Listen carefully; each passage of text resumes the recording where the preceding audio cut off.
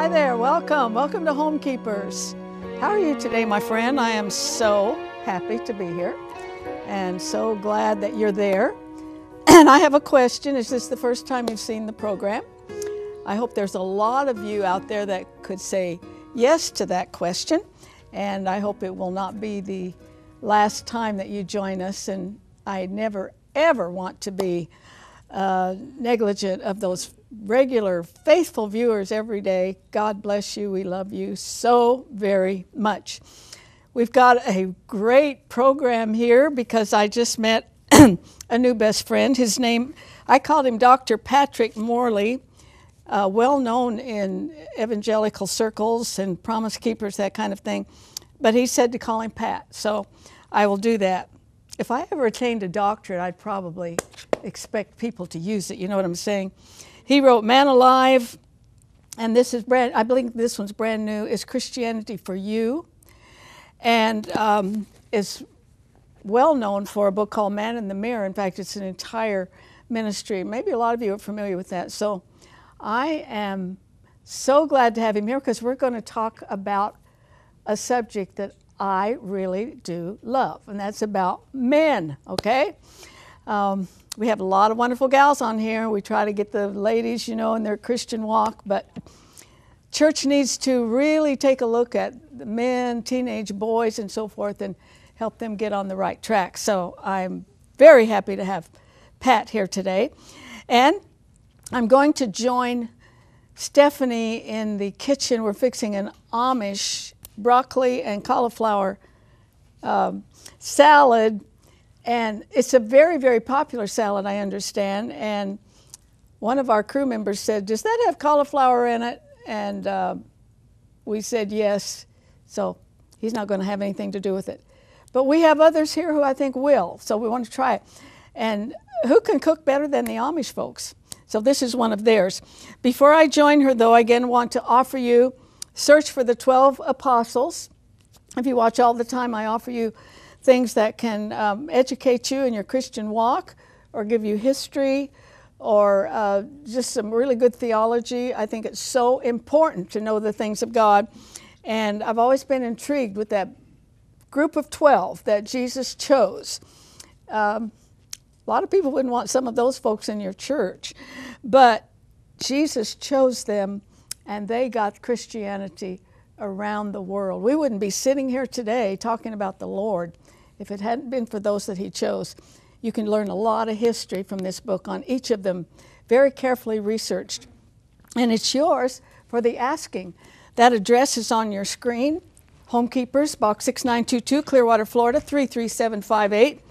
And just write to me, and if you can please send a gift, a financial gift to keep us on the air.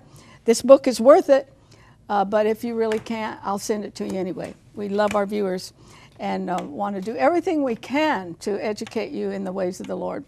And I've joined Stephanie over here. We've already got a on this. Well, he doesn't know what he's talking about.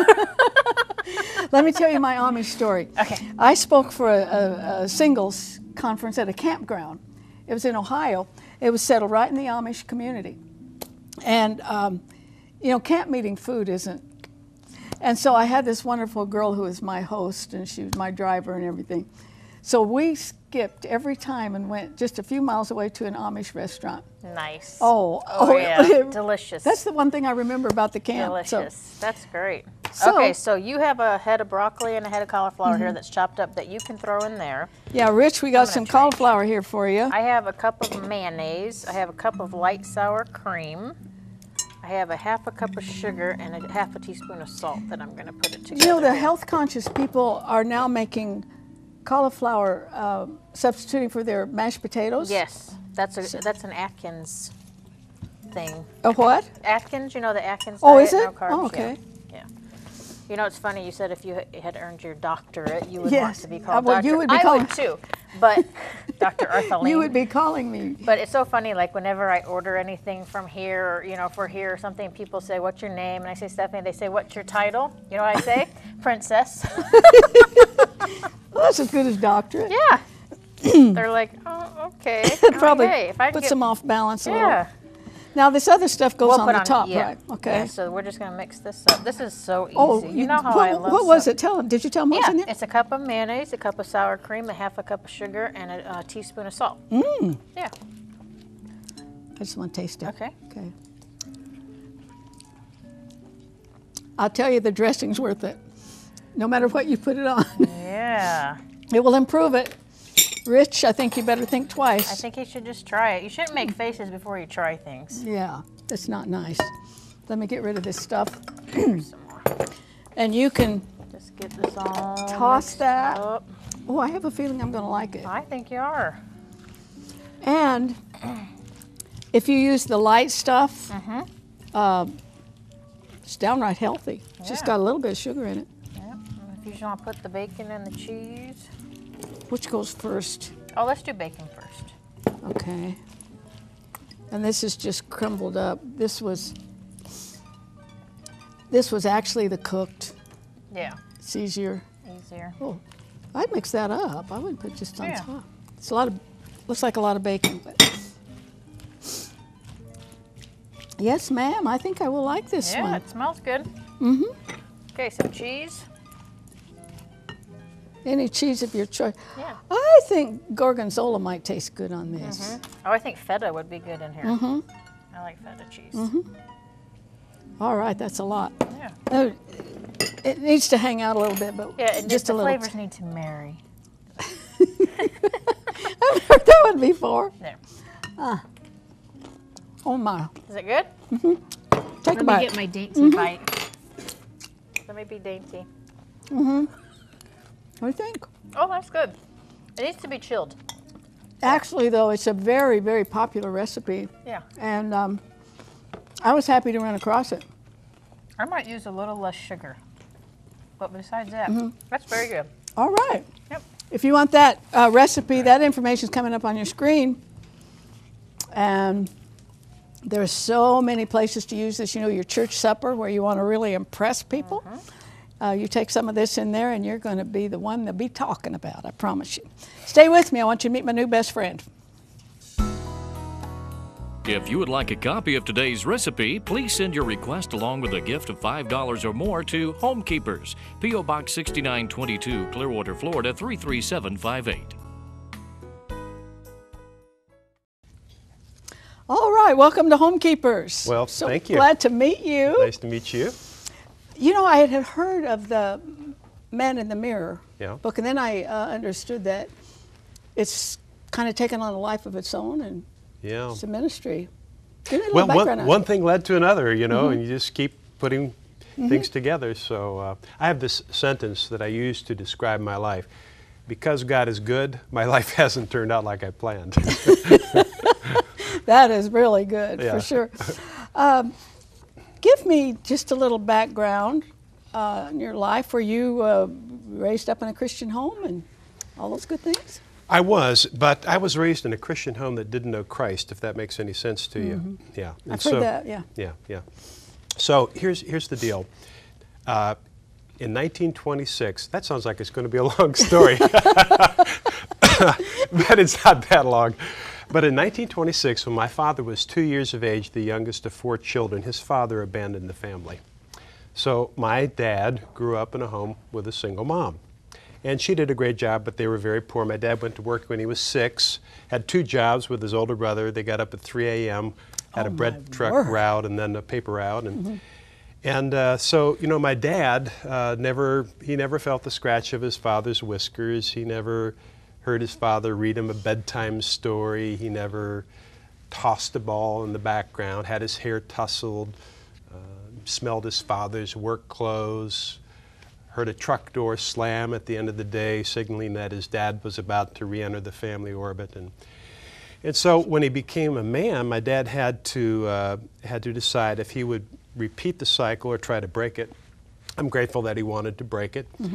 But what it meant to be a man and a husband and a father, Arthelene was completely unexampled. So he basically was left to guess. Now, wisely, my mom and dad decided we needed to get some moral, they needed to get some moral and religious instruction for their four boys. I'm the oldest of four. So we became part of a church. But our church had a vision f- uh, for my dad, but it was to put him to work. Uh, and he had a great work ethic. He's worked since he was six. So by the time my dad was 40, he was the top layman uh, in the church. But our church had no vision to show him what it meant to be a man, which is why he came. And so uh, he just got burned out, and we left the church. I was in the 10th grade. Um, we had been doing pretty well until that time. Uh, but in the middle of my senior year, I quit high school. Uh, my next brother, he followed in my footsteps. He eventually died of a heroin overdose. Uh, my next brother never held a job for more than six months until he was 50. And my uh, younger brother is a recovering uh, alcoholic and is divorced. And uh, dad, you know, dad just never saw it coming. And um, so, Well, I think there's a lot of that still in the church today. thank you. I think yeah. I I'd be very careful to criticize pastors. My family's full of them. Yeah, well, I'm very. I, I, But I've, I've never met a pastor who got into the pastoring business who didn't want to grow a flock, both numerically and also uh, in the quality of the sheep. So, I mean, pastors love uh, people. That's why they got into the business. But the problem is that we see is that they're pulled in so many directions today that they just Yeah. need somebody who has an expertise to help them. So we, we basically were church I agree. Poor pastors, they're supposed to be counselors, psychologists, contractors, bankers, Yeah. all the above. Exactly. What what is the man in the mirror about?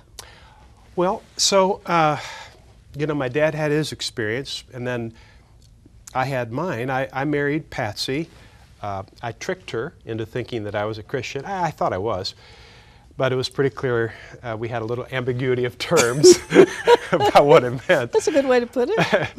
So, uh, but I, I, I wanted to have a relationship with God, so we started going to a church that did have a vision to disciple me to be a godly man, a godly husband, and a godly father. So when I walked through that church door, there were some guys, they knew their mission. It was making disciples, and they zeroed in on me. They took me under their wing, they showed me the ropes. And, uh, and so uh, I've had a very different experience than my father has had. And, uh, and so the reason I'm doing Man in the Mirror, and I'll uh, answer your question eventually. the reason I'm uh, the reason I'm so passionate about men's discipleship is is I've seen the difference that it makes when a church gets it right with a guy like me. They got it right with me, but but but my dad had a very and so my family line is still trying to recover from that decision that a my grandfather made to desert the family and b that my dad made to, to walk away from the church. Yeah, and think of all of the men in the congregation who have similar stories. Many many men Um. I did notice with your brothers, apparently you were the one Yeah. who hooked in with Jesus. Well, God graciously grafted the gospel into or back into my family line through my wife's family line. My wife led me to Christ. And then uh, graciously, I was able to lead my brother who died of the heroin overdose. He was a, a Vietnam War casualty, basically. Uh, led, was able to lead him to Jesus, and uh, both of my parents made deathbed uh, professions of faith. They both uh, died in, in Christ. Um, whether I led them to Christ or back to Christ, I'm not sure. Well, you know. Jesus makes such a difference. um, and I've said it many times with the guests sitting there. Yeah. I was raised in a Christian home, Mm-hmm. Pastor home. But then I say something like this, and it validates the gospel. Mm-hmm. It validates You, you didn't learn it by rote. You No. just It's true. Jesus Christ is alive. yep. He's real. Uh, before we go any further, tell me about your radio ministry. Um, What do you because wanna know? Well, you're on um, We're on 700 several, stations. sta- 700 several, stations. several hundred Se- stations. several. We're on several stations. And uh, it's a, it's a one minute program. It's a little nugget for guys. We, we try to get it scheduled during drive time so they can get a little, little bump during the day. Well, as an old veteran warhorse of the church, to me, this is the greatest need: is to get the men right, get them in there excited about God, following Him, following His way, because when you get the guy right, other things fall in place. Oh, we say this all the time. You know, we say this. I said, can you picture ever getting the world right without getting the church right? Probably not. If that's true, can you picture ever getting the church right without getting families right? Probably not. Can you picture then getting families right without ever getting marriages right? Not going to happen. And then if that's true, can you picture ever getting marriages right unless we get you women straightened out? I wasn't expecting that. Uh, it's a little joke. Yeah. But I mean, really, when you think about it, it, it really is about them. Even when a woman rips her family apart, it's usually after years of emotional neglect. So you get men right, get the fa- marriage right, get the marriage right, get the family right, get the family right, get the church right, get the church right, and it really can have this impact on the One, world. one, one quick thing. I had a, a gal here years ago. She was a psychologist. And I said, I want to ask you a question. Um, if you have a family and they- need counseling, and the woman is just, the mother's just a total flake, just really off the, off the rails, but the dad's good and he's stable Mm-hmm. and he's there, how do the kids turn out? She said, never thought about that. And she thought for a few minutes, she says, they come out okay. and uh, Satan knows. Satan knows, yeah. Satan knows if he gets the head. I Yeah. Mean, the Bible says the men are the head of the house. So if take the head down, not the rest of the body doesn't work too Well, well. men, men today are just really under severe attack. They are. Now, uh, when I travel uh, Mm-hmm. and a stranger learns that I work with men, they'll often say, Oh, that must be really hard. Now I say, You got the wrong guy. I have the greatest job in the world because every day we see, we're seeing men come to Christ Praise and growing in God. their faith. So there's a, there's a robust ministry going out there. But the, but the flip side of that is, Mm-hmm. is that men today are under severe attack, especially men under 40. I mean, talking about the enemy, the, the, the institution of uh, marriage and family is being, is, is being gutted as. Right. as we sit here talk, talking. It's in dire, dire straits. Yeah, and we won't even get into same-sex marriage, but everything is Yeah. to to undermine that. Now you have um, you have this big ministry with Yeah. what particular leaderships over a, a certain part of the country. Okay, so um, uh, I love numbers. I hate numbers. I like big numbers. But we started 27 years ago in a bar as a Bible study. And over these last 27 years, we've been able to work with 35,000 churches to impact 12 million men. But we want to Wow. go. Yes. Yeah. Now, a lot of those are really deep transformational counters, but a lot of times it's just, you know, sort of brushing up against them, you know. But we, we want to see, uh, be, by the end of this decade, 10 million men leading powerful lives transformed by Jesus Christ. In order to do that, we are expanding. Uh, we're hiring 330 area directors, one for every 1,000 churches. So the 330,000 churches in America. So geographically distributed in local communities, church consultants, if you will, who work with churches to help them be more effective discipling their men. Our, our vision is for every church to disciple every man. Uh, no, really, what we mean is for every willing church to disciple every willing man. I am praying that will become like a revival, like a prairie fire. We're going to put the website up. We'll leave it up the rest of the program, and they can get all that information through that. Yeah, now they can go to maninthemirror.org and there's a link there. But there's also, if somebody's interested in this as a career, now if there's somebody listening who either is interested or knows somebody who might be interested uh, in a career in men's discipleship, uh, this is a professional position. And uh, they can go to areadirectors.org, areadirectors.org, and uh, there's a, a video there, a job description, frequently asked questions, a prospectus, all, all the information they need. Take the next step, get the word out. You can, you know, so it's, it's, it's all there.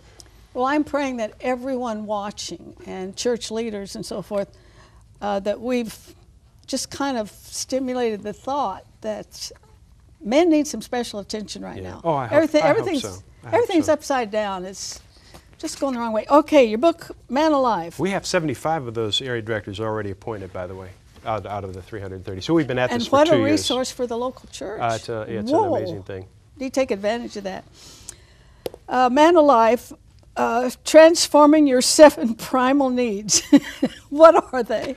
Well, it's a guy kind of a word, isn't it? Yeah, it is. All right, so let me tell you how this book came about because this is where these seven needs come from. So uh, I have, uh, over these last decades, uh, I've literally had thousands of one on one conversations with men. And uh, when I uh, talk to men and they try to express the, the inner aches and pains, the angst that they feel, they will invariably mention one or more of seven things, seven symptoms, let's call them. This is very, very interesting. That's very concise. So they, they, they will say one of these things. They'll, they'll say, first of all, they'll say, you know, I just don't, uh, I just feel like I'm in this all alone. Or, and or they'll say, you know, I don't feel like God cares about me personally. Not really. I don't feel like my life has a purpose. It feels random. I have these destructive behaviors that keep dragging me back down. My soul feels dry. Uh, my most important relationships, they're not healthy. And then finally, I really don't feel like I'm doing anything that will make a difference and leave the world a better place. And so, uh, isn't it interesting? Pretty sad. Well, but, but God has wired us to want to satisfy those needs, and the longing is comes when they're, they're going unfulfilled. But uh, in His Word and through, uh, through Christ and through being involved with other guys, men can satisfy each of these needs, the corresponding needs, in Christ. Yeah, I've often, just in my observation, noticed that women fall to the cross a little bit easier. We don't have any problem. Jesus says, "Come, we we we're there." You know, kneel down and Mm-hmm. and um, we can express, we can pour out our heart to Him and all. And men are not wired that way so much. Well, here, here's part of the problem. Uh, so when a, when a woman has a problem, now these are generalizations, but Right. we use generalizations because they're generally true. Yeah. So uh, as a generalization, when, when a woman has a problem, she tends to move toward relationships Mm-hmm. because that's where she's going to find solace, comfort, encouragement, counsel, so forth. When men have a problem, they tend to move toward isolation. They mo- tend to move away from relationships. And so anybody who's ever watched National Geographic knows that the lion never goes after the herd. Uh, the, the, the lion always goes after what?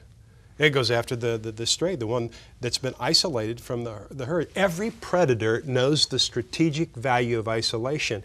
And men, if you're listening, or women, if you're uh, the, the, the men in your life, uh, it is Satan's strategy to steal, to kill, and to destroy. He I is know a where you're predator. going, Yeah. yes. And so, um, and, and so men are more susceptible to uh, these these uh, these attacks, or at least so it seems. For, at least right now in our time, in our era, men do seem to be more vulnerable. What do you think the women's movement of the 60s, did that have anything to do with what we see now in culture and in the church? Well, you know, you have to differentiate between the, the radical feminist movement Right. and what I think Because there were some things that need to be corrected. Yeah, uh, but, but but the feminism, uh, I, I love that. Yeah. You know, the, you know, I want to. Uh, Jesus was a. If you want it, Jesus was a feminist. I mean, Jesus. He was a friend of women, yes, He sir. ushered in a good good news for women, and so I, I like all those those things that are advancing women. Uh, there are unintended consequences, and so uh, basically, men now are portrayed in popular culture. I don't think that this is really true, or most people think it, but in pop culture, they are portrayed as, as sex crazed, baboon brained uh, hayseeds. Um, and so, uh, yeah, this from an image standpoint. It's, it- it's very true. Uh, I don't even watch sitcoms anymore unless they're real old. Mm-hmm. I, I can handle Andy Griffith, but some of them are just so awful.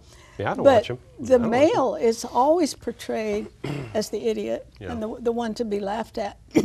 and anything in culture kind of gets into the church. Mm-hmm. Would you agree with that? Yes, I mean, So, uh, you, you would got like to think that the church was having more influence, influence, on yeah. the culture than the culture is having on the church. Yeah.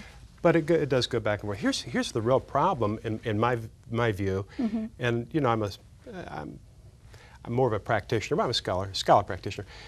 But, so I study, I study these things, and uh, the difference is that, that Christianity is no less uh, prominent than it was 40 years ago. In fact, it's more prominent. But the problem is, is that the, the, the culture was founded on Judeo-Christian principles, Yes. uh, even as late as the mid mid 1980s. But that has all changed, and uh, uh, and so Christians were a, min- a minority then, but their values predominated in culture. Today, Christians are still in the minority, but their values are no longer the majority report. And so anything anything goes. It's just uh, you know it's just anything goes now.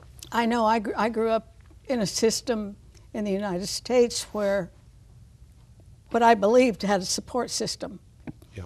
uh, morals, ethics, Mm-hmm. and all that. Uh, culture was there to support it. That's not there anymore. Yeah. That's not there.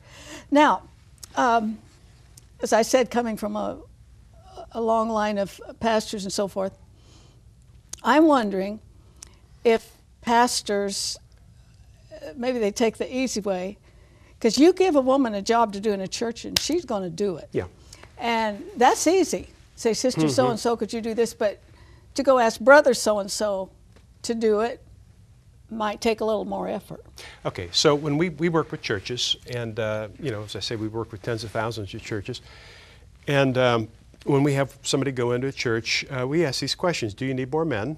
Yes. Do you need more leaders who are men? Yes. Do you need more men to populate your growth groups? Yes. Do you need more men to populate your service and mission opportunities? Yes. Well, how, how, do you, how do you make that happen? Well, Jesus had one and only one solution. Uh, making disciples is God's designated way to release the power of His gospel on all these problems that we see in culture. And I would even go further, Arlene, I would say this. I would say that since it is a command, go and make disciples, it's not mm -hmm. a mm-hmm. suggestion, it's not a priority choice, and since those orders have never been amended or rescinded or altered in any way, that it's, it's a choice between right and wrong. Therefore, it has a, a, moral component. And so I would say this anything less than a plan to disciple every willing person in your church, male or female, is a, is a catastrophic moral failure. So, what we've done, we developed a, a model that we call No Man Left Behind. Mm-hmm. And uh, so, the pastor who really does want to make disciples that implements this model, watch this, these are, these are vetted statistics. Um, a church that will use the No Man Left Behind model will experience, on average, a 48% increase in the number of men attending in two and a half years. Hallelujah. And an 84% increase in the number of men involved in discipleship in that same two and a half years. So uh, roughly 50% more men and almost doubling the number of men in discipleship. Now, most people think it's too good to be true. We thought so too. That's why we sent it off to a statistician That's to figure it out. some of the best news I've ever heard, and we're completely out of time. Can I get Oh, a, this is crazy. Can I get a promise that you'll come back? Um, we can get a, a uh, possible promise that I'll come back. I'll get him to come back. I wouldn't worry. promise that I could do it. Join me next time, remembering no higher calling than that of a homekeeper. God bless you. If you would like a video copy of today's Homekeepers program for just $19.95, call 1 800 229 0059 for credit card orders or send a gift of at least $19.95 to Homekeepers, P.O. Box 6922, Clearwater, Florida 33758. Be sure to note the program number which appears on your screen.